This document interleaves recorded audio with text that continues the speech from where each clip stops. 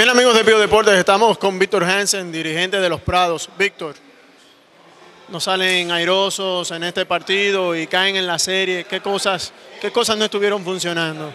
Bueno, mira, primeramente eh, yo considero que cuando uno hace cambios de jugadores dentro de la alineación, se necesita un tiempo prudente para el acoplamiento. Eso se, vio desde el primer juego. En el primer juego no tuvimos la sincronización de vida, ya en el segundo ya veníamos eh, cogiendo el acoplamiento y ya tuviste el partido de esta noche. Yo creo que ese tiempo nos traicionó. Eh, si hubiésemos tenido un poquito más de tiempo con los muchachos, yo creo que eh, con Jerry y con Ramosito Ruiz, yo creo que las cosas hubiesen sido bastante diferentes. Quizás sacrificaron, cuando hicieron esos cambios que mencionas, sacrificaron un poco de defensa por el tema de la, de la ofensiva que sí la necesitaban frente, frente al Varias. Bueno, sí, eh, necesitábamos tener mejor ofensiva y también mejor dominio del balón.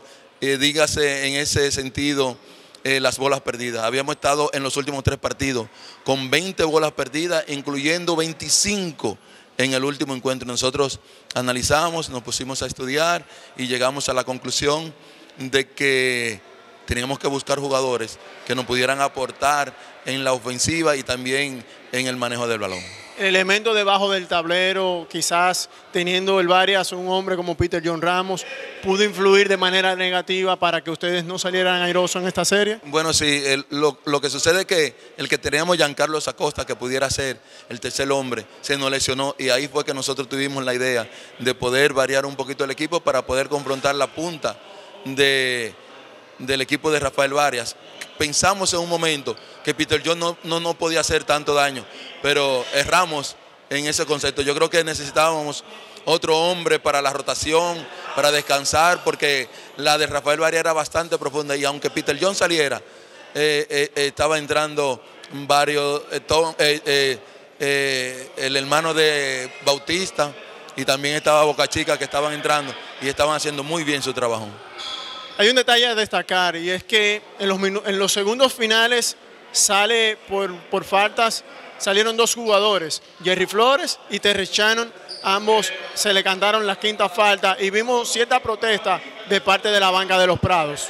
Bueno, eh, desde luego yo creo que eh, es apreciación del árbitro, pero en un juego cuando llega a esos términos, eh, el árbitro tiene que controlar y debe, debe pitar igual para ambos lados, yo creo que eh, en, ambos equipos, y nosotros no consideramos que estuvieron eh, de la mejor manera. ¿Cómo ahora manejar, tú como todo un conocedor de baloncesto, muchachos jóvenes, eh, ahora quizás la frustración de no haber ganado la serie?